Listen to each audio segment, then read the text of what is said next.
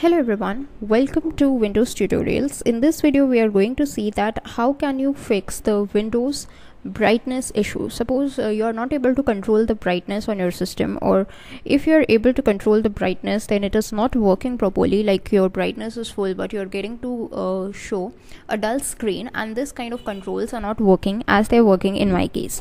So what you need to do is just right click onto your start button and go to the device manager once it opens just expand it. Go to the monitors. Make sure whichever monitor you have selected right click and make sure the option that you're getting the second option that you're getting is a disabled device.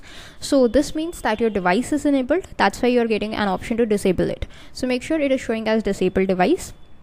And if it is showing enabled device in your case then click on enable device and enable your monitor. Okay?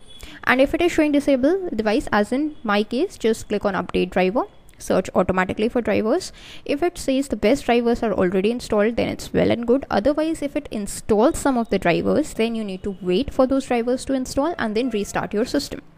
Once that's done then again just go to display adapters. If your problem is still not fixed right click go to update driver and search automatically for drivers. If it is already installed then well and good. Otherwise just install.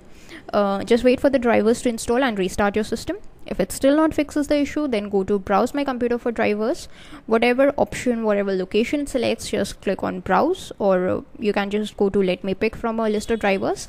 Just select all these drivers one by one and configure them install them. And see which driver is giving you the best result. Whichever driver is giving you the best result just go with that driver and that should fix your issue. That's it for this video. Thanks for watching